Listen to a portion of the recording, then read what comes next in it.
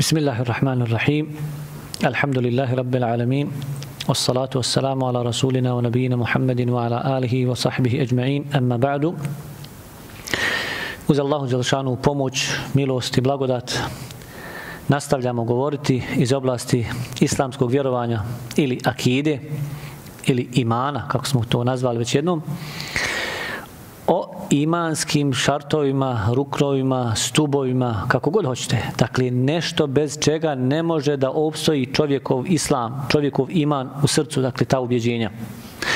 I u prijetvornim predavanjima govorili smo ukratko, bez nekih posebnih razilaženja, o prvom imanskom ruknu koji je vjerovanje u Allah Đelešanu kao gospodara, je li tako? I rekli da ako hoće čovjek da ispravno vjeruje u Allaha Đelešanuhu, mora da vjeruje u šta? U svojstvo Allaha Đelešanuhu. Broj dva.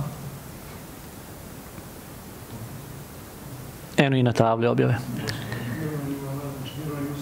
Nemojte da moramo po tri puta ponavljati. Znači, hoće čovjek da vjeruje u Allaha. U šta treba da vjeruje? Evo, kratko.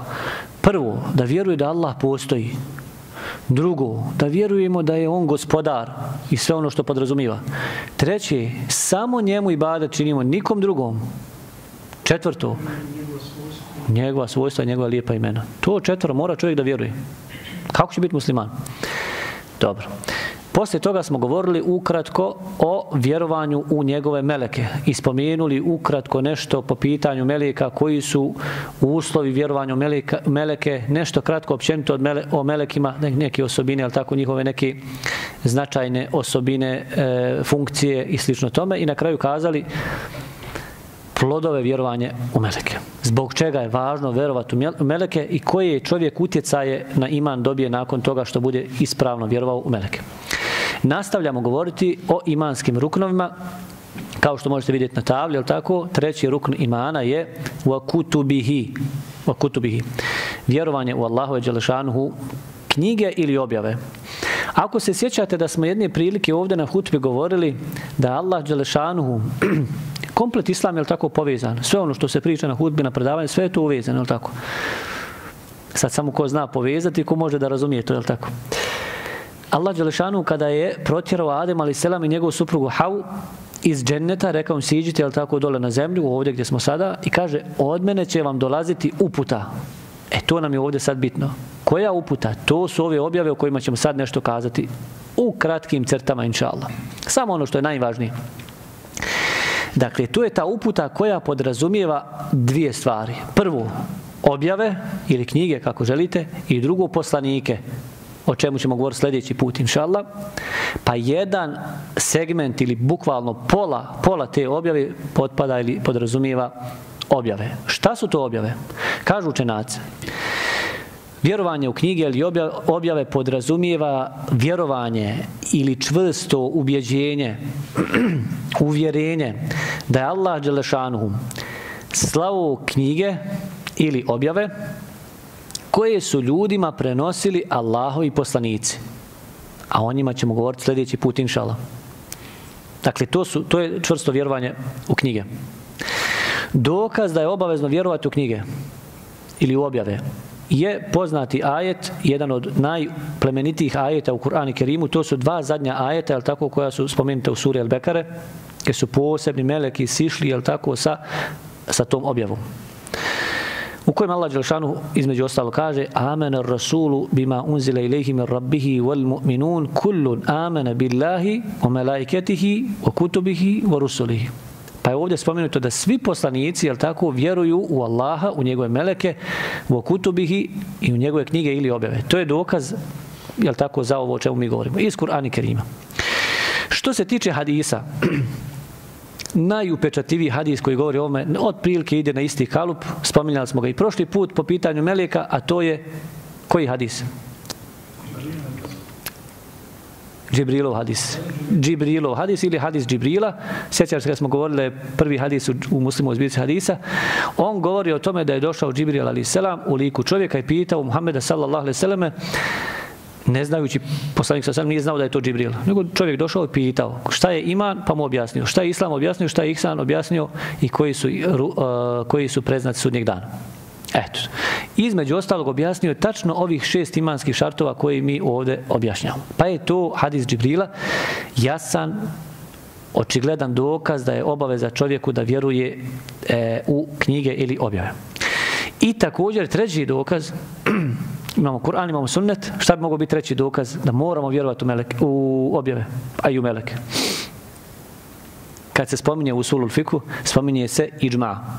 Iđma je konsenzus učenjaka. Složili se učenjaci da je obavezno, Što znači, ukoliko čovjek ne bi htio da vjeruje u bilo koji od ovih ruknova imana, takav čovjek ne bi bio musliman. Znači, drugo ako ne zna, čovjek ne zna, nikad nije čuo za meleke, nikad nije čuo za objave, znači on ne zna, njemu se treba dostaviti. Ne može čovjek ga istjerati iz vjere, čovjek ne zna za sve što čovjek ne zna, znači, a živi, pogotovo u ovim našim sredinama gdje mi živimo, imate ljudi ne zna ništa o islamu osim vehabizam, terorizam i, i tako to. Ništa više ne zna. Samo je, mi se ne družimo s tim ljudima, pa ne znamo. Ali ponekad se čovjek upozna s tim, tim ljudima, znači ljudi sa ulice, ili pogotovo ako su nemuslimani, kad je pitaš nešto, šta znaš o islamu? Evo jedan konkretan, ja sam imao jedan telefonski poziv i kaže meni, isil, kaže, Ja i dalje, dalje, tam vam, ja kažem, pa i ja sam protiv Isila, ja sam protiv toga, to je neispravno. Kaže, pa vidi, mašala, kaže, nisam znao da, da tako vi muslimani, kaže, misli, ona misli, mi muslimani, što sam ja, jedno, to je moj stav. Ali, hoću da kažem, pojentu, znači, ona osoba ta misli da, da, da mi zasupamo istinu. Kaže, pa ne znam, ja sam to gledala na, na, na TV-u i slušala na radiju i tako da. To su, dakle, neispravne predođbe, znači, o islamu. Dobro, šta hoćemo da kažemo? Da ljudi ne znaju o islamu, pa, ali ako ne zna, moraš mu dostaviti. Ne možeš ga odmah istjerati iz vjeri. Ova osoba je konkretno ne, nevjernik, ne treba ga ni istjerati iz vjeri, ovaj, kad uopće to nije musliman.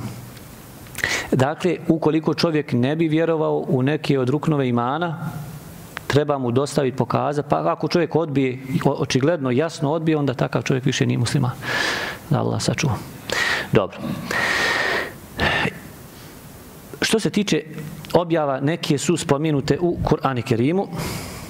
Ko će nam kazati koja je to objava koja je spomenuta u Kur'anu?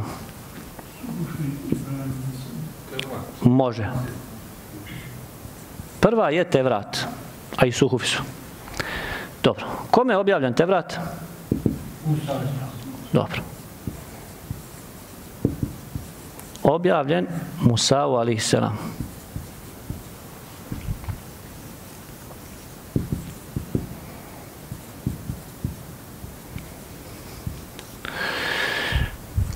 Dokaz zato imamo, jel tako, u Kur'anu, gdje kaže Allah Đelšanu inna enzelna tevrata fiha huden wa nur. Znači, mi smo objavili Tevrat u kome je upustvo i svjetlo. Dakle, spominje se Tevrat, jel tako, u, u Kur'anu. Sura Al-Maide, 44. ajet.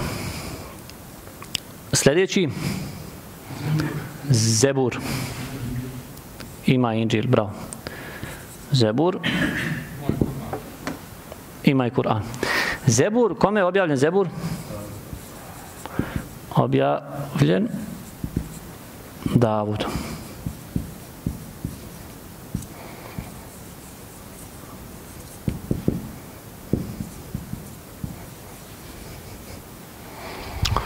Dobro. O Atejna Davude Zebura, kaže Allah Želšanu, a Davudu smo objavili Zebur. Dobro, to je sura El Isra, 55. ajet. Sljedeći je Inđil. Ovako idemo redoslijedno, tako jer Davud ali salam, je on bio prije Isa ali salam? Jeste. E sad smo već od, odgovorili, tako?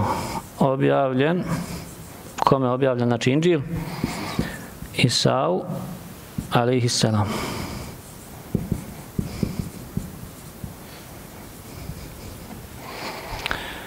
Dobro.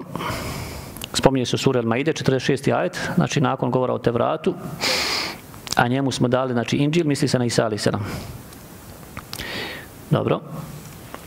Inače, Isa alaih selam, o tom ćemo posebno govoriti, inšala, sljedeći put, Isa alaih selam je predzadnji poslanik. Predzadnji poslanik. Posle njega je došao Muhammed sallallahu alaihi sallam. I on je odlozi, jel tako, i Benu Israila, od Ishaka. Dakle, sve su, sve su poslanici od Ishaka dolazili, sva ta loza, a onda jedan jedan je došao od, od Ismaila iz njegove loze, to je Muhammed s.a.v. alejhi ve koji je bio od Arapa. A ovi ostali su bili poslani e, Benu Israilu, Izraelčanima. kad kažemo Benu Israil, ko je Israil? Benu znači potomci. Može da znači sinovi Israila. Ko su, ko je Israil? Molim? Jakub, Jakub, ali se. Jeste, Jakub, ali se. Dobro. I imamo sad ovo što nam je Hadžija rekao, Suhufi.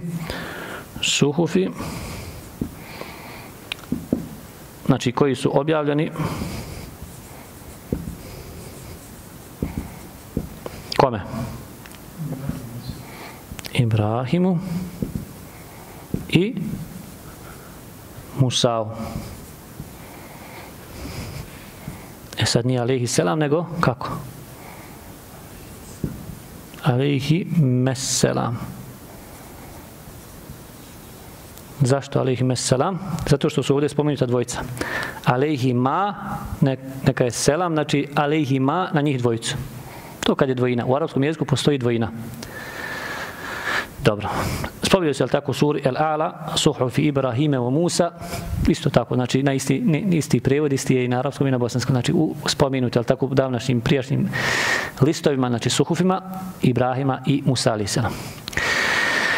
Dobro, to je ukratko, znači, najosnovnije činjenice da čovjek muslima zna, znači, u šta da vjeruje, dakle, po pitanju objava ili knjiga, Šta to znači? Kazali smo na početku i da postoje neke objave koje su spomenute u Kur'anu Kerimu, svakako Kur'an je spomenut u, u, u, je tako, u Kur'anu, pa nismo ni spominjali.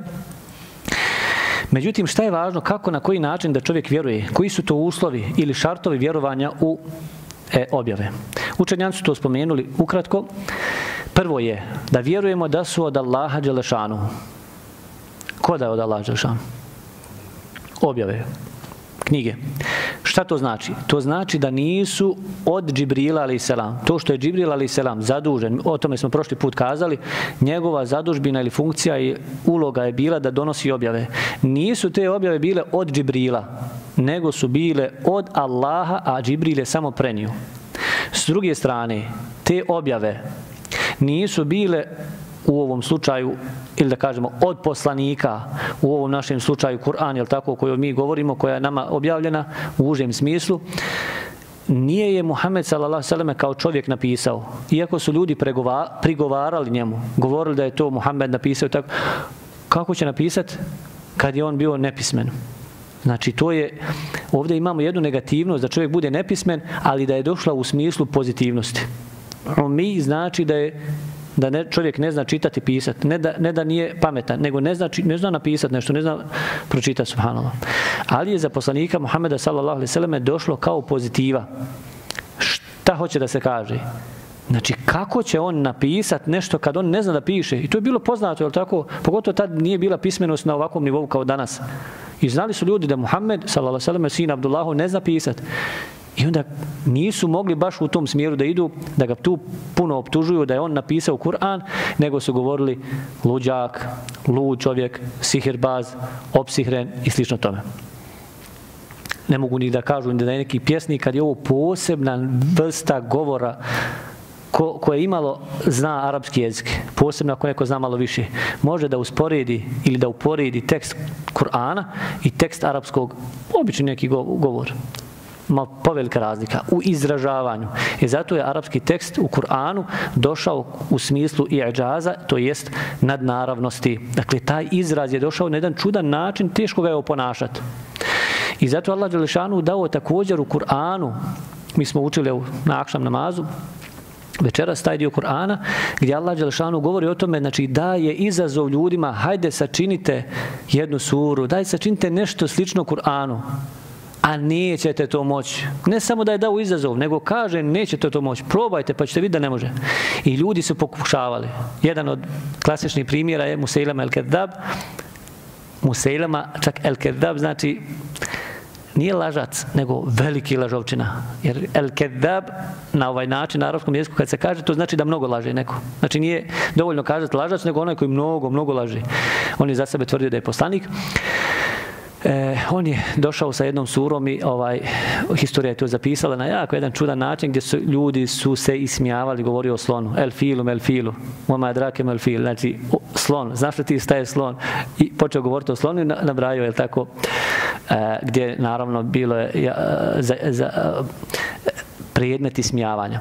Znači, hoće da kaže da slično Kur'anu, ali nije došao, nije došao sa tim nečim sličnim, nego su se ljudi ismijavali s njim. I mnogi drugi su pokušavali, međutim, niko ništa nije mogao da dođe, jer mi sad to ne možemo, mi smo ne Arapi, jel tako, ne možeš da vidiš jel to nešto u redu na arapskom ili ne, ali imaju stručnjaci, imaju pjesnici u to doba, koji su bili tako stručni, dođe čovjek stotinak, dvjesto stihova, izrecituje od sebe, nije ih znao prije, onako izrecituje od sebe na tim skupovima pjesnika, pa se ljudi saberu, pa su pijace, pa vašari, pa svašta nešto, između ostali pjesnici dođu i tako da bilo raš, ra, rašireno. I onda onaj koji je slušao, dođe on kaže i ponovi sve za ovim sad. Sve zapamtio, tako stručnjaci bili. E onda je došao izazov, znači da bude Kur'an, muđiza, Šta znači muđiza? Muđiza je nadnaravnost, nešto što ne može doći niko sa nečim sličnim koje je davao Allah Đelšanu samo poslanicima. Ne može običnim ljudima. Obični ljudi su, imaju neke keramete, dakle. ali poslanici imaju muđize. Zašto? Da dokažu svoje poslanstvo. Da je neko mogao da dođe sa neči, neki, nečim sličnim, znači to više nije muđiza.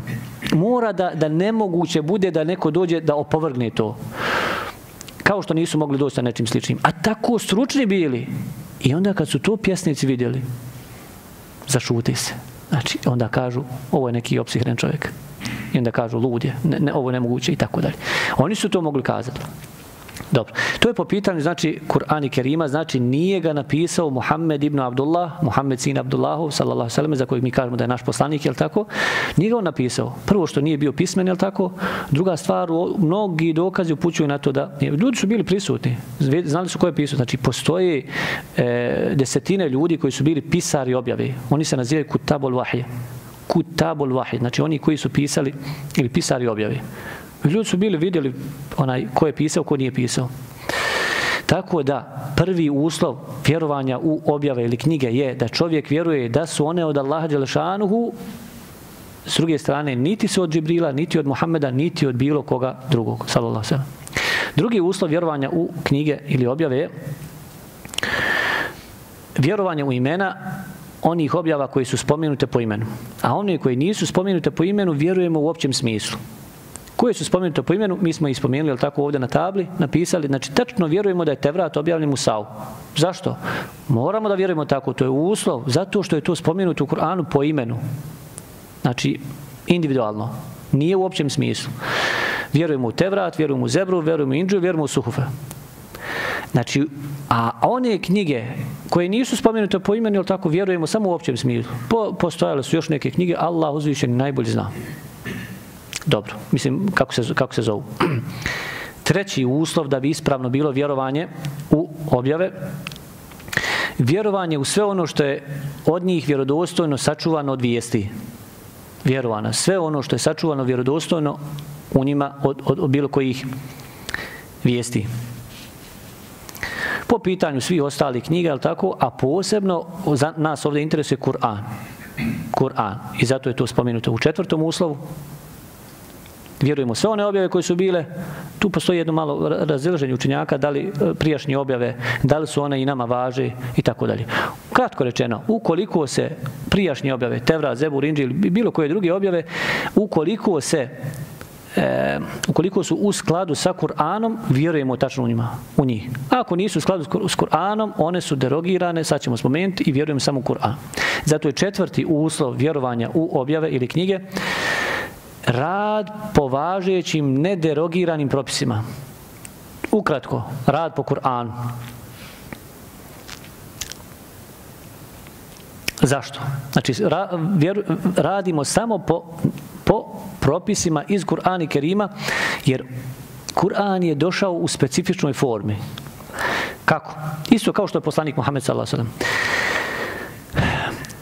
Tevrat je bio objavljen, je tako, kome? Musa alaihi. Kome Musa ali selam došao? došao je, tako, Benu, Izra Benu Israilu. Znači, sredbenicima Is Israila. I došao samo tom narodu. Isa ali selam svoj narodu i tako dalje. Svi poslanici su dolazili samo svom narodu. Neki od njih su dolazili kao što su vjerovjesnici da podpomognu onog poslanika koji je bio tu sa njim prisutan.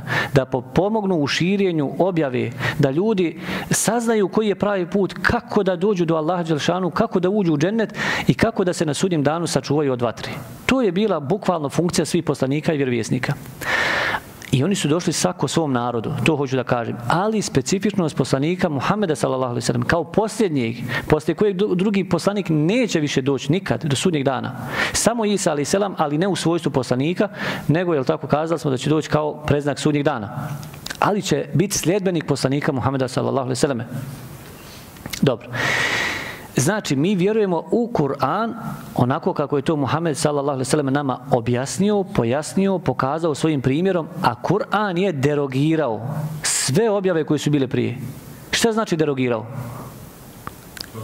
dokinuo ili stavio van snage. Znači, vjerujemo u općem smislu i u Tevrat, i u Zeburi, Indiji ili slično tome, ali ne radimo po tome. Zašto? Zato što je Kur'an stavio van snage, dokinuo, je li tako?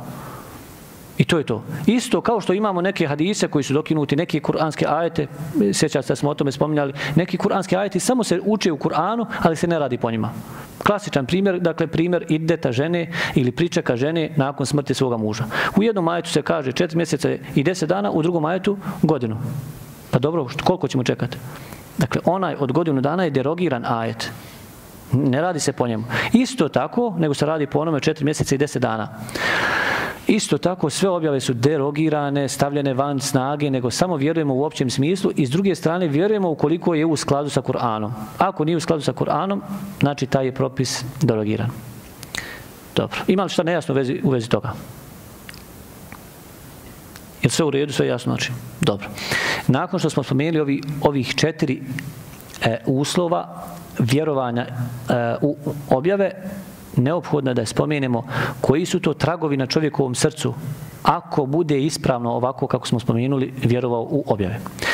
Prvo je spoznaja Allahove milosti prema nama jer nas nije ostavio bez upute.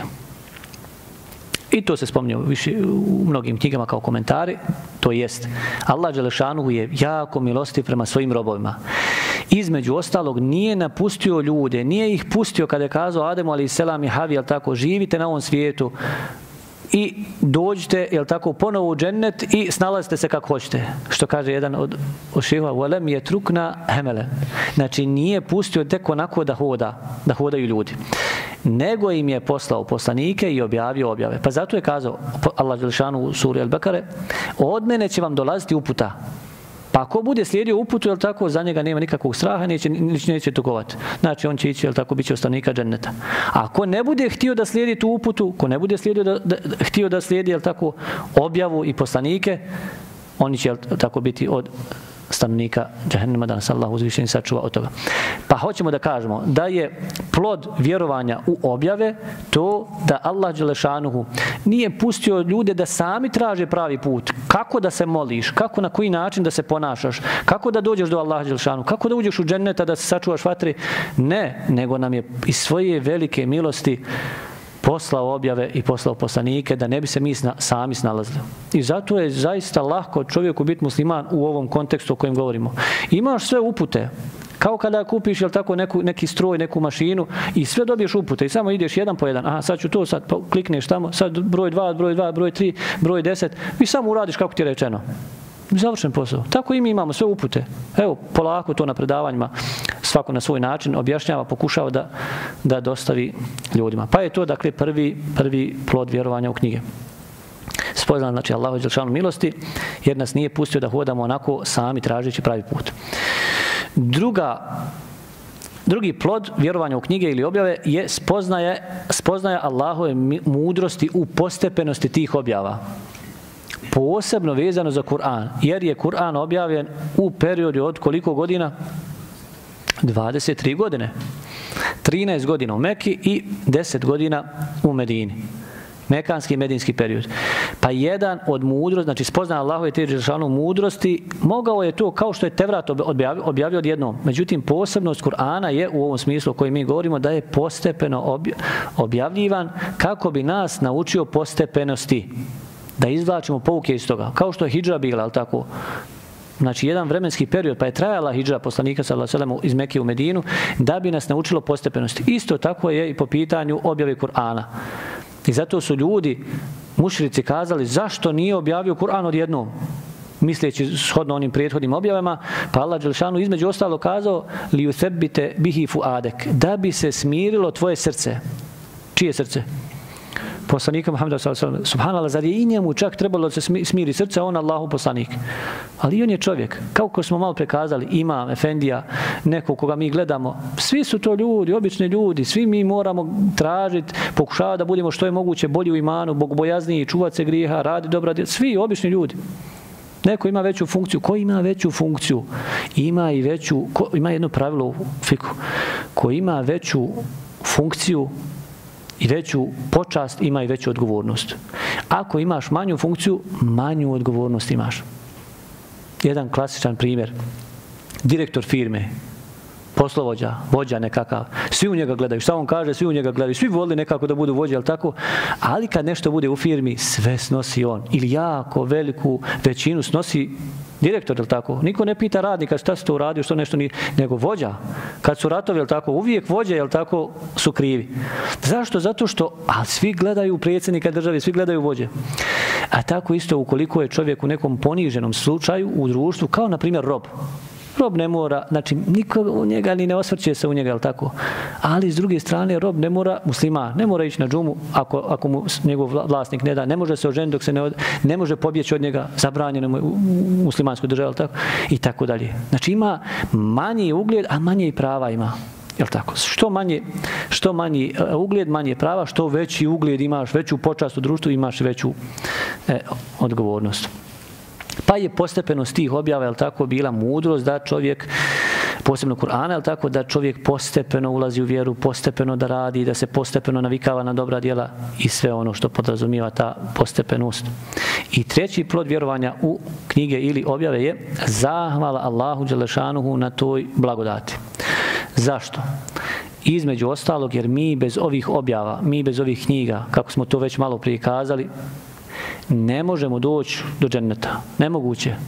Kako da znaš gdje je džennet? Kako da znaš kako da se sačuvaš od, od vatre, od džehennema? Nemoguće. E zato je Allah Đelšanu ukazao u ovom ajetu sura Al-Bekare koji smo više puta spomenuli, to, su, to je taj ajet, 37. 38. ajet, je tako sura Al-Bekare, govori o suštini života. Od mene će vam dolaziti uputa, pa ko bude slijedio uputu džennet, ko, ne bude, ko bude okrenuo glavu, ko ne bude vjerovo u to, vatra, vječno suština života. Nisu svi ajeti isti u Kur'anu. Zar ovaj ajet koji govori o smislu, ili ova dva ajeta koji govori o smislu postojanja čovjeka na ovom svijetu, suštini života, filozofiji života, kako hoćete, zar ti ajeti da budu isti kao ajeti koji govori o sure Leheb ili Mesed? Tebe, tjeda, ebi, lehebim o tebe. Neka je proklijet, ebu leheb. Govori o Ebu Lehbu, dok Jaferu jednom, znači o nevjerniku koji će otići u džehenneme, tako i njegova žena koja je spletke pravila, nisu ti ajeti isti, to je sve Allahov govor, ali ovi ajeti su veličanstveniji. Pa ajeti nisu svi, znači, isti, neki govore o važnim temama, kao što ajetul Kursija govori, jel tako, najuzvišeniji ajet govori o Allahu Đelšanu, o njegovim svojstvima, jel tako, kao što Ihlas, sura Ihlas, kul Allahu ahad, govori komplet o Allahu Đelšanu i slični ajeti, a dok drugi ajeti govori o nečemu, o nečemu što je manje vrijedno, a sve je to Allahu Đelšanuhu govor. Pa je, tako, zahvala Allahu Đelšanuhu na toj blagodati konkretno u vezi objava konkretno na Kur'an, Kur'anu, jer bez Kur'ana čovjek ne može da bude upućen, bez upute ne može da ide pravim putem, bez pravog puta ne može da dođe ispravno do cilja. Ne može nikako da dođe do cilja. A cilj svakog muslimana na ovom svijetu je džennet. Da uđe u džennet, da se sačuva od džennema. I zato kaže Allah Đelšanuhu, govorijeći u suri Al-Imran, o najvećem uspjehu čovjeka. Šta mislite, šta je najveći uspjeh čovjeka? Nemojte, molim? 50%. 50% odgovora. 50% odgovora. Bravo, ovi je drugo i 50%. To jest, kaže Allah, to je drugi polovac. To jest, Allah Đelšanu kaže, femen zuhziha anin nari, ko bude udaljen od vatre, to je tvoji 50%. Ko bude udaljen od vatre, wa udkhila al-jannata tvoji 50%. I bude uveden u džennet, fe kad faz, takav je 100% uspio. Tako je došlo u Kur'anu, ja prevodim baš sa onako kako je. Fe, kad, znači potvrda, faze, i to kad dođe tako na taj način u prošlom glagolu, u e, prošlom vremenu nakon riječi kad, riječice kad, znači sto posto je uspio. To je najveći uspjeh. I zato Allah Žešan to govori. E zato mi ne možemo da uspijemo, ne možemo da dođemo do pravog puta, ne možemo da dođemo do dženeta bez, bez Kur'ana. Kad kažemo Kur'ana, u ovom smislu mislimo objavu, jel tako, Kur'ana, jer o tome govorimo, također se podrazumijeva i sunnet o kojem smo mi nešto govorili na hutbi, tako da ne ponavljamo sve ovdje. To je ukratko po pitanju vjerovanja u Allahu Đelšanu objave. Zadovoljćemo se s onim što smo kazali. Ukoliko ima neko nešto da doda, Bujrum da prokomentarši da mu eventualno nešto nije jasno, Bujrum. Bujrum.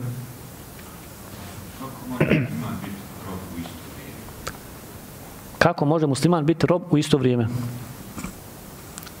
Može li malo detaljnije pitanje? Rob, rob ne oslobađa, znači ako musliman bio rob, mm -hmm. musliman kao rob, ne oslobađa te robstva. To mi je jasno. Mm -hmm. Mogu provjeriti to pitanje, mogu provjeriti. Da ne bi nešto kazao od sebe, ali provjerit ću. U svakom slučaju, e, poznato je da rob, ne sad nema robo, ne govorimo o prijašnjem vremenu. Da, da, da. Jes, ne, ne, ne mora da ide na džum. Oslobođen je džumi, oslobođen je borbe na Allahom putu, oslobođen je, da kažemo, oslobođen je pod navodnicima ženitbe, ne smije se oženiti bez izuna. E, št čovjek vjernik na jednom drugom stepenu? E, provjerit ćemo tačno, provjerit ću inšala, pa ću ti sljedeći put ako bude odgovor da ne bi nešto kazao, onaj, zabranjeno je govoriti o islamu bez znanja 100%. Znači, ja mislim da ovako, ali provjerit ću inšala. Mene, ja, mene jasno, ali nije jasno. Da, da. Ja slažem sa tim. Da, da. E, provjerit ću inšala, provjerit ću. Na tala nagrada pita. Ujrum. Dobro suhufi. Suhufi su listovi. Nekoliko listova, Allah zna koliko, nije spomenuto, znači spomenuto u množini. Sahifa znači list, suhufi množina. Neki listovi koji su ili spise koji su objavljeni Ibrahim a.s. i Musa a.s. mimo, Musa a.s. mimo te vrata. Znači to, vjerujemo da je, da je to objavljeno po imenu. Tako, jer je spomenuto u Kur'anu. A to je to. Ko? E, ne, spominute po imenu. Ne, ne, Tevrat nije u Kur'anu, Zebur nije u Kur'anu, Inđil nije u Kur'anu, Suhufi nisu u Kur'anu, nego, nego je samo po imenu spominuto. Znači ovo što imamo na tabli, oni su po imenu. Znači riječ Tevrat spominuto da je objavljeno Musa alaih selam, da, su, da je on sudio po tome i slično tome. A ima njihove primjera da su... Pa to ti je Biblija, samo što je iskrivljeno. Evanđeda, ono što kršćani danas vjeruju tako. Shodno njihovim razilaženjima. Molim? Vjerovatno hoće da kaže da, da li ima neki propisa iz, iz, iz, iz, iz te vrata i bila koji je u Kuranu. E, A ima iz, iz, iz, iz, iz Bibliji zabranjen na kamen. Bila to 60 mm -hmm. Ne znam taj detalj. U svakom slučaju, e, šta god je došlo u Bibliji, ili bolje da kažemo ovim našim islamskim terminima, Tevrat, Inđil, Zebur, šta god je to došlo, iako je nešto sačuvano do dan danas, ukoliko je u skladu sa Kur'anom i sunnetom, vjerujemo u to. Inače, postoji to šarijetsko pitanje, oni se, to se naziva Israilijati. Po pitanju Israilijata imamo tri propisa. Israilijati, znači tekstovi, priče, vijesti koji su došle od Benu Israila, zato se zove Israilijat. To su ove, znači, e, od prijašnjih naroda. Prvo pravilo, ukoliko je u skladu sa Kur'anom te priče od prijašnjih naroda, prijašnjih objava, obaveza da vjerujemo u to ne zbog toga što je u prijašnjim narodom spomenuto, nego zbog toga što je Kur'an to potvrdio. Drugo, drugi propis. Ukoliko je Kur'an ili sunnet negirao prijašnje objave, E, neke te priče i tako dalje, kažemo to nije istina. Zašto? Zato što je Kur'an to negirao ili sunnet. I treće, došao neki haber do nas, nekakva vijest, priča i slično tome događaj, Kur'an i sunnet ništa nisu spomenuli. Ništa, ni da je pozitivno, ni da je negativno. U tom slučaju ne smeta da se priča. Ne smijete da se priča o Benu Israilu, znači spominje se, zato kaže, može se nekad Hatib kada na hudbi ili na predavanju, spominje se od Benu Israila da je tako i tako i spominje jedan događaj. Nema, nema dokaza da je zabran. Znači, čak šta, ima, čak šta više ima dokaza da, e, e da se, da, da se da je poslanik sa selme kazao u jednom hadisu pričajte događaj znači o Benu Israila wala haraj nema nema smetnje nikakve može se pričati na šta se misli na ovo gdje nije Kur'an i Sunnet ništa kazao o tome eto eto naređeno ženi da se pokrije ili ako nije pokrivena onda da se ošiša. Mm -hmm. Da. Da se ošiša na, na govor, da pokazni da se mm -hmm. Ja nisam proučavao zaista niti čitao Bibliju, tako da ne znam, onaj, e, ali u svakom slučaju, ako se nešto potvrdi sa Kur'anom i sunnetom, vjerujemo. To je, e, jasan je, islam je zaista jasan kao dan. Znači, evo vidiš ovako. I sad nema potrebe da čovjek negdje nešto tamo išto istražuje, da nešto iščitava, tamo nisi još spoznao ni svoju vjeru, a kamo li tuđu. Tuđu je dozvoljeno istraživati samo u jednom slučaju. To je kao što je Zakir Naj, kao što je Ahmed Idad, znači to su znači, stručnjaci, učenjaci i tako dalje, istraživači. E, kad je spoznao svoju vjeru, onda je spoznao i tuđu vjeru kako bi ukazao na njihove greške. Ali u suprotnom, da čovjek se samo onako bavi, to je zabranjeno. Iščitavanje Biblije, iščitavanje bilo koji tuđih ovaj, spisa vjerskih zabranjeno. Da, u islamu je zabranjeno. Jer ti nisi još razumio islam. Još uopće nisi nikad bio na predavanjima koji govori o imanu. I dođe ti, evo, da kažemo, fitna tekfira, fitna ovoga ili onoga pravca i čovjek padne odma. A zamisli kad ti dođe fitna, ne znam, nija iz Biblije, dođe čovjek koji je učen, stručan, stručan i onda te, što kažu, oborite s nogu.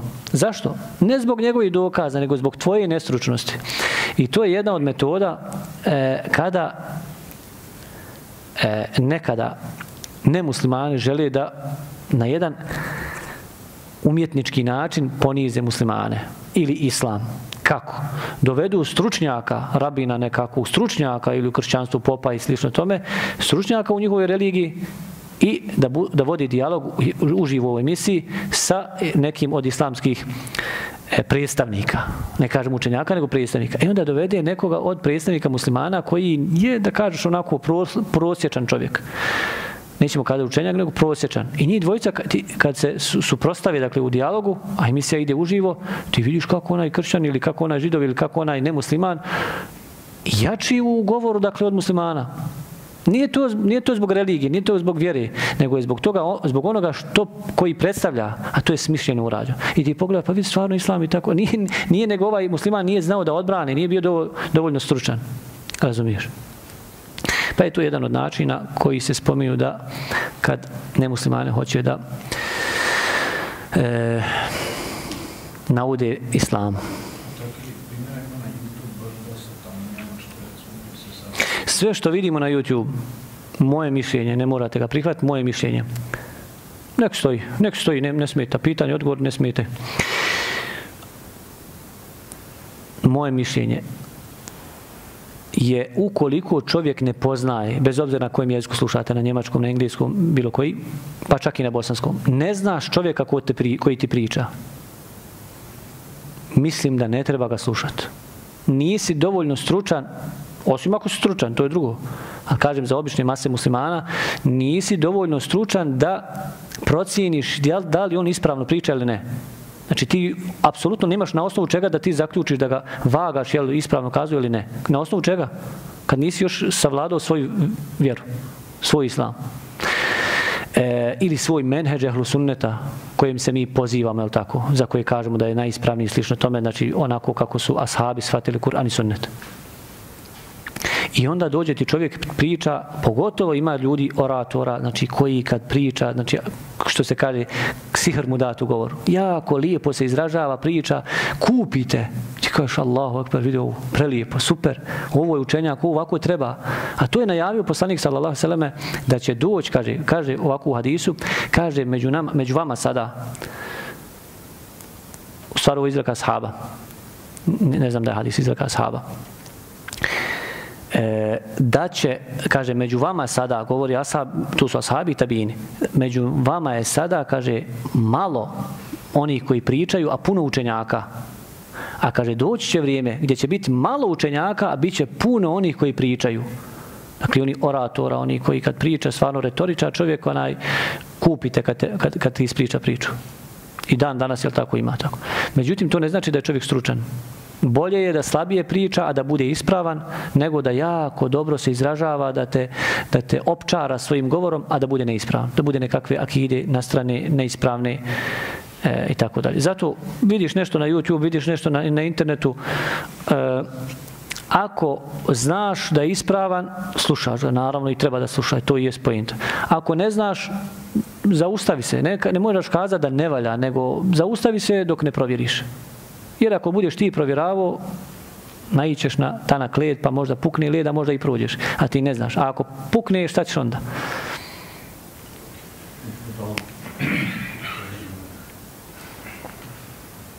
Evo, Efendija nam je rekao da nam je dosta, jel? Tim se on prepomijesti gotovo. Ako istinu će. Dobro.